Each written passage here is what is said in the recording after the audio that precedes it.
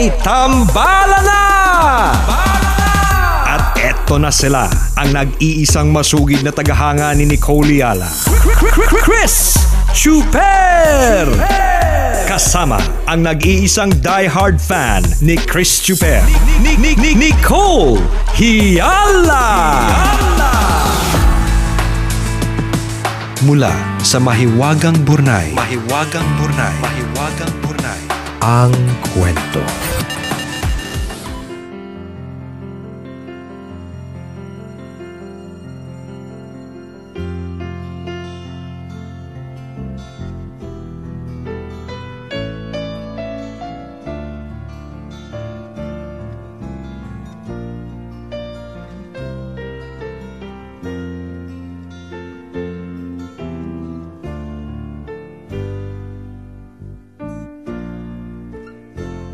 Lumaki akong malayo ang loob sa mama ko.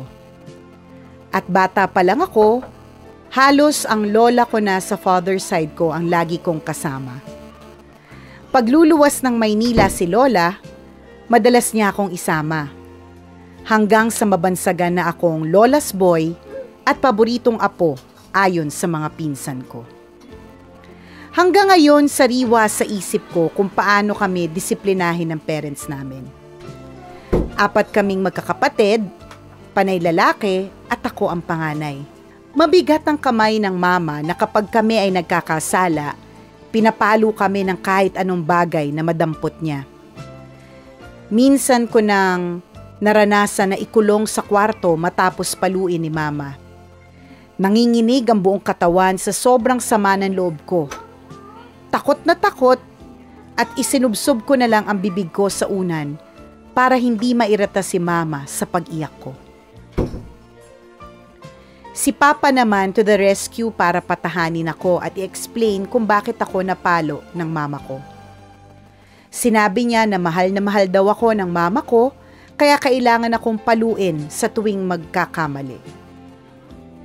Ganun ko maikukumpara ang pagkakaiba ni mama at papa pagdating sa pagdidisiplina. Dahil sa mahinaho na pagpapaliwanag ni Papa, nawawala ang galit ko kay Mama. Pero may nakakainis ding ugali si Papa. Madalas silang magbangayan ni Mama dahil sa pag-uwi ng lasing at pagsasabong. Kapag nag-aaway sila, gustong gusto ko na silang sigawan ng, Tama na! Pero hindi ko naman magawa dahil bata lang ako noon. Simple lang ang pamilya namin hindi kami ganon kayaman pero masaya din naman. Nang mag-college ako, unti-unti ko nang nakita ang mga sinabi ni Papa na mahal nga kami ng Mama. Excited ang mama ko na samahan ako sa pag-enroll sa Manila. Siya ang nakikipila sa enrollment at pinapaupo lang niya ako sa gilid. Titira ako noon sa boarding house malapit sa school. Naalala ko pa na bago siya bumalik ng province, pinag-grocery pa niya ako at ang dami niyang binilin sa akin. Gusto ko sanang magsabi ng thank you and I love you. Pero hanggang sa isip ko na lang dahil hindi naman ako sanay. Tuwing bakasyon at umuwi ako sa probinsya namin, mas naging malapit na ang loob ko sa mama ko pero hindi ko pa rin kayang mag-open up sa kanya tungkol sa buhay-buhay. Pero nagbago na talaga ng husto ang tingin ko kay mama. Nakikita ko na silang masaya ni papa. Kapag babalik na ako ng Maynila, sobrang asikaso nila sa akin. Aayusin nila ang mga dadalhin ko, padadalhan ako ng ulam ng luto ng papa ko, at hindi sila nagkukulang ng suportang pinansyal kahit alam kong marami na silang naging utang dahil sa pag-aaral ko. Habang nasa Maynila, naranasan kong ma-hold up at mabantaan ang buhay. Sobrang natakot ako noon at naisip ko na hindi talaga safe kung mag-isa ka lang sa Maynila. After two years, nag-decide akong umuwi ng province para doon na lang ipagpatuloy ang pag-aaral. Sa umpisa ay tutol ang mga magulang ko pero nasunod pa din ang gusto ko. Dahil sa pangyayaring yon, sa probinsya na lang nila pinag-aral ang iba ko pang mga kapatid. Ayaw nilang magaya sila sa akin na hindi tinapos ang pag-aaral sa Maynila. Simula noon, e eh parang may tampo na sa akin ang mga magulang ko. Sinikap ko pa rin makatapos ng pag-aaral.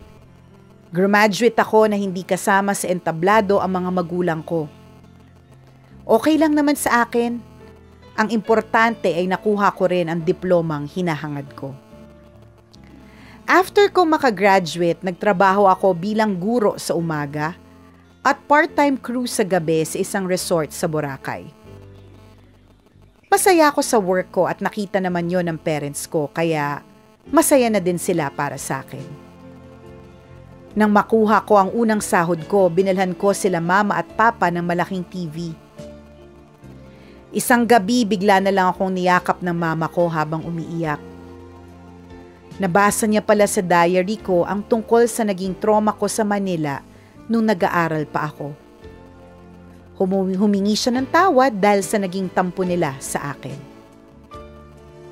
Nagbukas ang pinto ng oportunidad para makapag-apply ako ng trabaho sa abroad.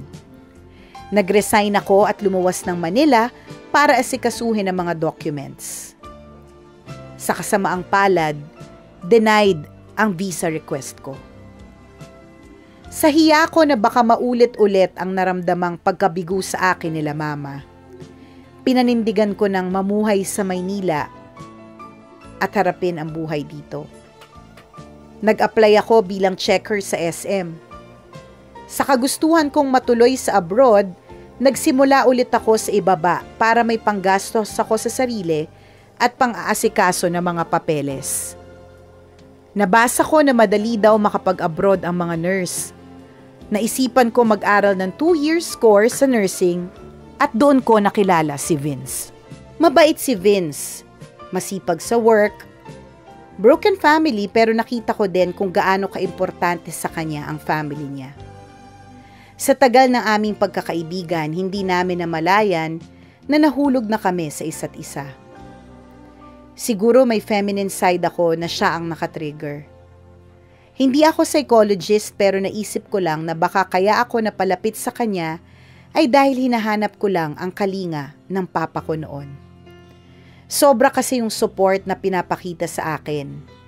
Bagay na hindi ko talaga maunawaan. Nakakahiyamang aminin, pero oo naging kami at nag-live-in for almost 4 years. Sinama at pinakilala niya ako sa family niya.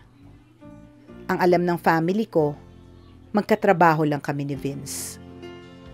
Sa muling pagsubok ko para mag-abroad, nag-grant ang visa request ko Nakaalis ako ng bansa at naging maayos naman ang lahat. Minsan, tumawag si mama at umiiyak. Nabasa niya pala ang anniversary card na bigay sa akin ni Vince. Hindi siya makapaniwala na naging kami ni Vince.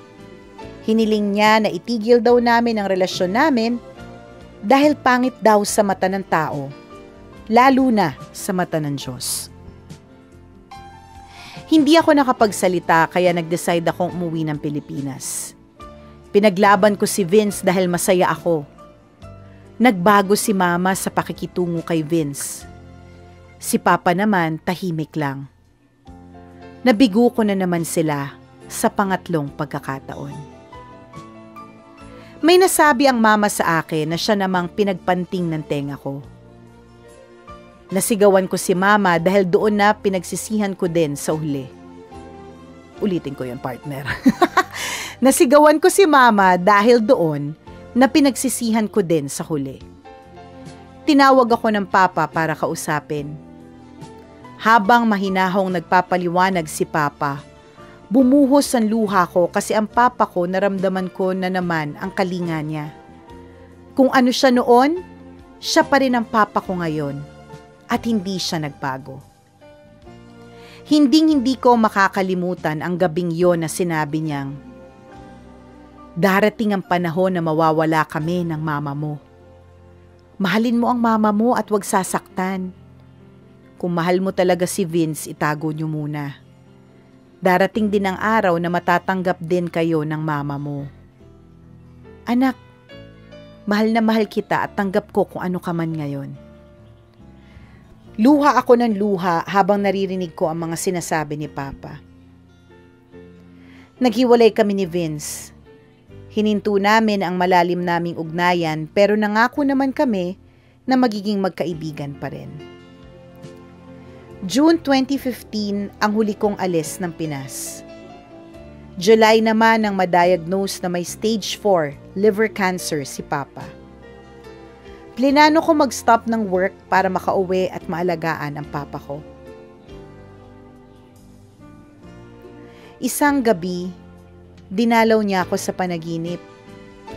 Nagpapaalam na si Papa sa panaginip ko. Nagising akong may luha na parang totoo ang nangyari kaya iyak ako ng iyak nung nagising ako. Kinabahan ako na parang hinanda ko na din ang sarili ko na anytime may tatawag sa phone na wala na ang papa. Todo dasal ako na sana wag naman. Pero nang dumating yung kasama ko sa bahay, Niyakap ako at sinabing, wag daw akong mabibigla. Hindi na ako naiyak sa narinig ko at sinabi ko na, okay na. Alam ko na. Nagpaalam na sa akin si Papa. October 15, 2015 nang iwan kami ni Papa. Sa pagbalik ko sa Pilipinas ay bumalik din lahat ng mga bilin sa akin ni Papa noon. Taong 2017, si mama naman ang na-diagnose na may bukol sa tiyan at kailangang operahan. Hindi ako pinayagan na mag-leave sa work kaya nag-resign na lang ako. Hindi ko na hinintay ang huling sahod ko, makauwi lang para sa mama ko. Sinamahan ko siya sa bawat check-up niya. Sinamahan ko siya hanggang sa operahan siya at makarecover sa sakit. March 2018, pinasyal ko si mama sa Europe para sa kanyang 61st birthday. Dinala ko siya sa mga lugar na dati ay pinangarap niya lang na marating. Sa naranasan kong ito, natutunan ko na kahit anong marinig natin na masakit sa mga parents natin, isipin natin na para naman ito sa ikabubuti natin. Our parents know best sa kanila lang natin mararanasan ang totoong pagmamahal na walang hinihiling na kapalit. Kaya habang nariyan pa sila, ipakita rin natin ang best na pagmamahal para sa kanila. Ako po si TJ, isang tambalanista, at ito ang aking kwento.